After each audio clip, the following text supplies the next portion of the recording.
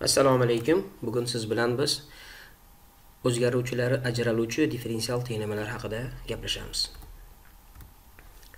Demak e, agar tenglamaning o'ng tarafini ikkita faqat x ga va faqat y ga bog'liq bo'lgan ko'paytma shaklida tasvirlash mumkin bo'lsa bunday tenglamaga o'zgaruvchilari ajraluvchi oddiy differensial tenglama deyiladi. E'tibor beramiz chap tarafida faqat funksiyaning birinchi tartibli hosilasi qatnashishi kerak o'ng tarafida esa e, ikkita faqat bittagina o'zgaruvchiga bog'liq bo'lgan funksiyalarni ko'paytmasi shaklida.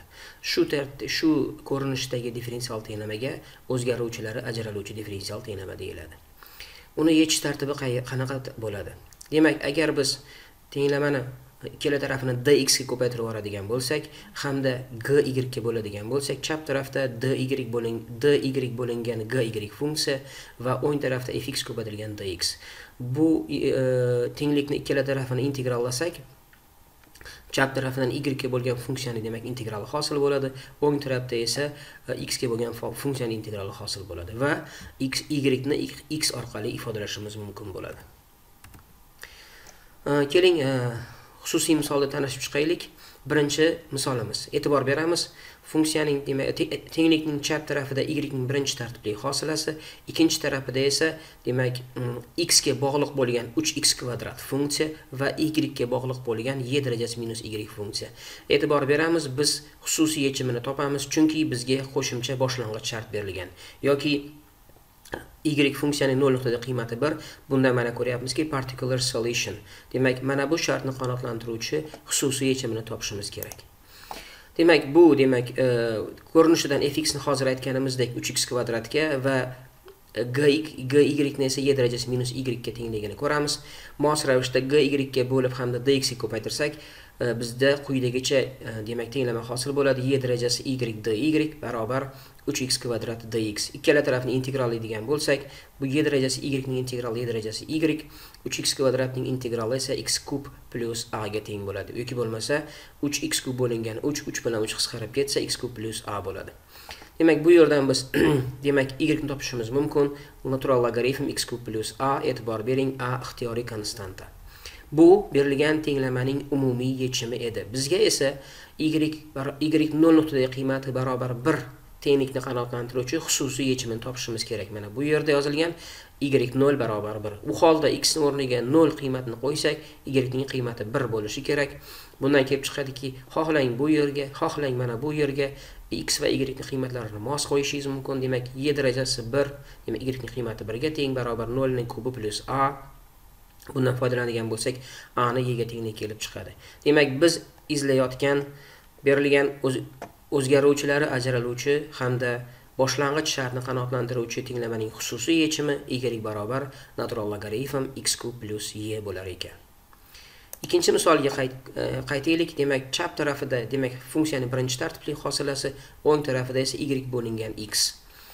o'ng tarafi e, shartni qanoatlantiradi yoki o'zgaruvchilar ajraluvchi differensial tenglamaga keladi. Fx sifatida bir bo'lingan x g y sifatida esa y funksiyani oladigan bo'lsak ikkala tarafini demak mos ravishda g ga bo'lib turib dx ga ko'paytirsak integral chap tarafida dy bo'lingan y o'ng tarafda esa dx bo'lingan x demak e, tenglikka ega bo'lamiz.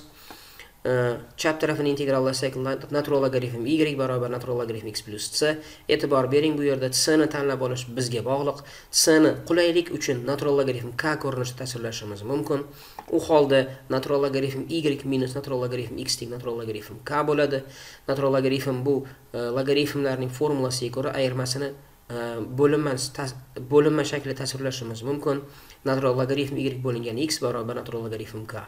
Bundan demak erkni topadigan bo'lsak kx to'g'ri chizig'i k bu yerda biron bir son demak berilgan tenglamaning yechim umumiy yechimi y barobar kx ekan. Uchinchi tenglama yana bizga chegaraviy shart ber e, uzr boshlang'ich shart berilgan ekan. Demak y ning 0 nuqtadagi qiymati 1 ga teng bu boshlang'ich shartimiz berilgan ekan. Bu yerda ham biz xususiy yechimni topamiz.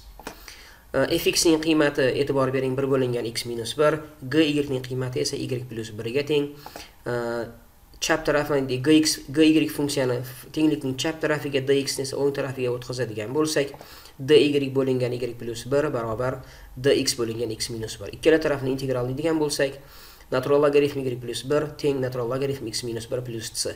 Xuddi oldingi misoldagi kabi c ni qulaylik uchun natural logaritm k sifatida olishimiz mumkin.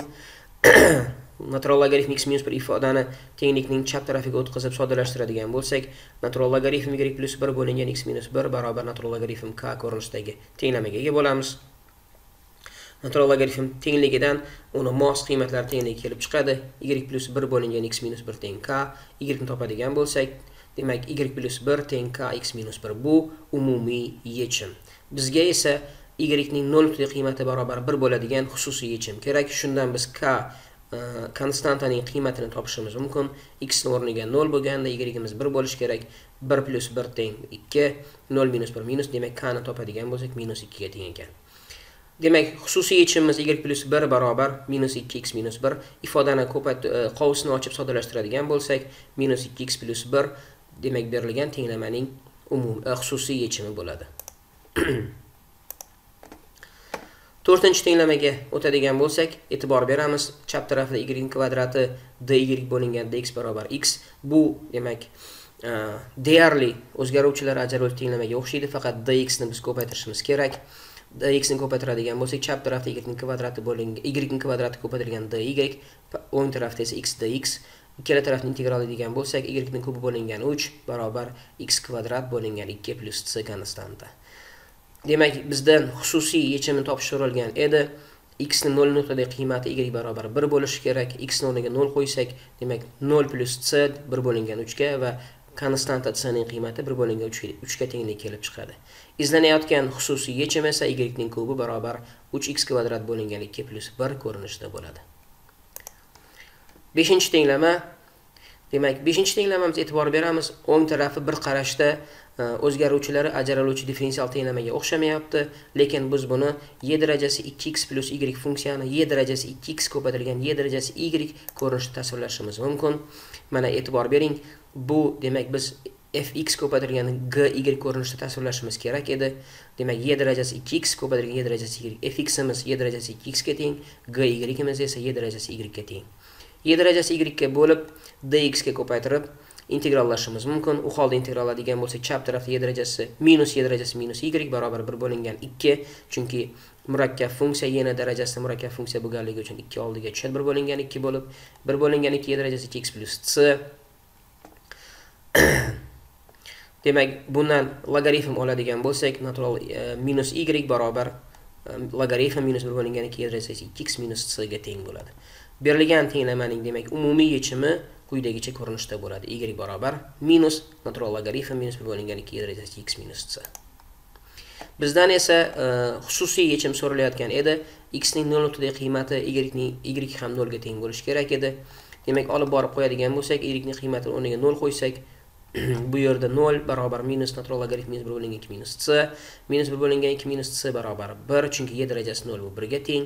C ni qiymatini topadigan bo'lsak minus 3 bo'lingan 2 demak biz izlayotgan e, differensial tenglamaning xususiy yechimi y barobar minus natural logaritm kasr chizig'i suratida 3 minus y darajasi 2x mahrajida esa 2 shu ko'rinishda bo'ladi. Oltinchi tenglama demak shu yerdan darrov sezish mumkinki demak e, y ni hosilasi bu demak birinchi tartibli differensial tenglama fx funksiya sifatida x bo'lingan x plus 1 e, y funksiya sifatida esa y keladi. Demak ikkala tarafini integrallashimiz mumkin. E'tibor bering bu yerda biz Э, kasr chiziqli funksiyani integrallayapmiz. Kasrning surati va mahraji bir xil darajadagi funksiya bo'lganligi uchun hamda kasrning mahrajida oddiy yoki sodda ko'p hadlar bo'lganligi uchun kasrning suratiga birni qo'shib ayiramiz va berilgan x bo'lingan x plyus bir kasrni bir minus bir bo'lingan x plyus bir ko'rinishda tasvirlab olamiz. Endi integrallaydigan bo'lsak birning integrali x minus 1 bo'lingan x plus 1 ning integral natural logaritm x plus 1 bu yoq tarafida natural logaritm y plus. Faqat qulaylik uchungina natural logaritm k ni qo'shishimiz mumkin. Demak xohlasak demak e, minus natural logaritm x plus 1 ni tenglikni o'ng tarafiga o'tkazadigan bo'lsak x barobar natural logaritm x plus 1 plus natural logaritm y plus ln k. Bundan e, hammani bu yerdagi o'ng tarafda yig'indi bo'lganligi uchun yig'indini ko'paytma shaklida tasvirlashimiz mumkin. K y x plus 1 bu yerdan biz Э, э, x ni topishimiz uchun y darajasi x teng y darajasi ln mana bu ifoda bo'lishi kerak edi. Y darajasi ln y bilan ln qisqarib ketsa formulaga ko'ra k y x plyus 1 bu yerdan biz y ni bemalol topishimiz mumkin. Bu y darajasi x bo'lingan x plyus 1 bo'lingan k ko'rinishida bo'ladi. E'tibor beramiz bu berilgan tenglamaning umumiy yechimi. Xuddi shunday yettinchi tenglamani ham yechishimiz mumkin. Tenglamani chap tarafida x ga bog'liq demak funksiya turibdi. Bu bizga xalaqit beradi. Chap tarafida demak sinusni kvadrati y ko'paytirilgan dy ni qoldiramiz. O'ng tarafiga esa x ga bo'lib dx ga ko'paytiramiz. Demak aytib o'tganimizdek sinusni kvadrati y dy bu yoq tarafda x plyus birni kvadrati bo'lingan x dx ikkala tarafdan ham integral olishimiz kerak. Biz e, trigonometrik funksiyani ikkinchi darajali trigonometrik funksiyani integral qilish qoidasiga ko'ra darajani pasaytirishimiz kerak. Bir bo'lingan ikki bir minus kosinus ikki y dy y ko'rinishida bo'ladi. Bu yoq tarafida esa kvadratga oshirib kasrni soddalashtiramiz. Bir bo'lingan ikki dy ni integrali y bo'ladi. Bir bo'lingan ikki kosinusning integrali bir bo'lingan ikki sinus ikki y bo'ladi. Bu yoqda esa x integrali bir bo'lingan x kvadrat plyus ikki x plyus natural logaritm x plyus c. Shu ko'rinishda qoldirishimiz mumkin chunki berilgan tenglama bundan ortiq soddalashmaydi. Sakkizinchi masala. demak chap tarafida yigitni birinchi tartibli hosilasi ikkinchi tarafida minus 2x tangens y funksiya berilgan ekan buni uh, x barobar 0 da y barobar pi bo'lingan ikki qiymat qabul qiluvchi xususiy yechimi so'ralyapti demak uh, chap tarafni ko'ryapmizki demak ikkita x va y ga bog'liq bo'lgan funksiyani ko'paytmasi ko'rinishda bu bizga qulaylik tug'diradi. Tangensga bo'lamiz va dx ga ko'paytirib integrallaydigan bo'lsak demak bir bo'lingan tangens y nima biz kotangens y ko'rinishida yozishimiz mumkin. Demak integral kotangens y d y barobar minus ikki x dx endi mm, kotangensning integralini bilamiz. Bu natural logaritm sinus y chunki bundan hosil oladigan bo'lsak bir bo'lingan sinus y ko'paytirilgan sinus y ning hosilasi bu kotangensni beradi. Bu yoqda esa minus 2x kvadrat bo'lingan 2 plus a natural logaritm sinus y barobar minus x kvadrat plus a. Bu yerdan y darajasini olib sinus y ni topishimiz mumkin. Sinus y barobar y darajasi minus x kvadrat plus a. Mana bu yerda bizga hozir yuqorida aytib o'tganimizdek kosinus bo'lingan sinus y dy biz kosinusni differensial e, ichiga kiritib yuboradigan bo'lsak d sinus y bo'lingan sinus y bo'ladi. Bu esa natural logaritm f y plus c. Mana bu umumiy formulaga ko'ra. Bizdan esa berilgan tenglamaning xususiy yechimi so'ralgan edi. X barobar nol nuqtadagi qiymati y barobar pi bo'lingan 2 bo'lishi kerak edi. Tenglikka umumiy tenglamaning umumiy yechimiga olib borib qo'ysak x o'rniga 0 qo'yamiz demak sinus y o'rniga pi bo'lingan 2 sinusning pi bo'lingan 2 nuqtadagi qiymati 1 ga y darajasi a demak a soni 0 ga teng ekan. Biz izlayotgan yechim esa sinus y barobar y darajasi minus x kvadrat ko'rinishida bo'ladi. To'qqizinchi masala demak differensial tenglamani umumiy ko'rinishi quyidagicha e, quyidagicha berilgan bu hozircha biz e, ko'rgan standart ko'rinishda emas. Nima qilamiz? Minus x y ifodani o'ngga o'tkazib y ga bo'lamiz va bir plyus x kvadratga e, tenglikni o'ng tarafiga bo'lib yuborsak. Bu yerda ham bizdan xususiy yechim so'ralyapti demak hozir aytganimizdek dy bo'lingan y minus x bo'lingan bir plyus x kvadrat dx bu yerda yuqoridagi formulaga ko'ra kasrni agar mahrajidagi ifodani fx funksiya bilan belgilaydigan bo'lsak suratidagi ifoda mahrajining hosilasiga teng. Bu esa logaritm bir bo'lingan x kvadratga tengligini e, keltirib chiqaradi. Chap tarafida natural logaritm y barobar minus bir bo'lingan ikki natural logaritm bir plyus x kvadrat plyus lnk e'tibor beramiz. Bizga qulaylik uchun faqat lnk ko'rinishidagi konstantani qo'shyapmiz.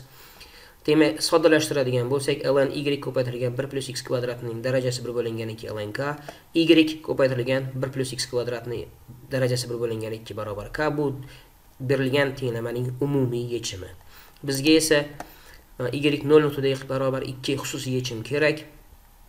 X va y ni o'rniga mos ravishda 0 va 2 qiymatlarini olib borib qo'yib e, k konstantani qiymatini topamiz. Bizning holatimizda k barobar 2 demak biz izlayotgan yechim y ko'paytirilgan 1 plyus x kvadrat funksiyaning darajasi 1 bo'lingan 2 barobar 2 ko'rinishda bo'ladi.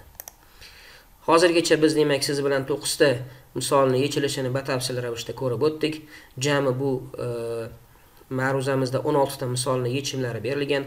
Qolgan misollarni oldin o'zingiz yechib ko'ring. Agar yechimi tushunarsiz bo'lsa bu yerda to'liq ravishda yechilgan. E'tiboringiz uchun rahmat sog' bo'ling.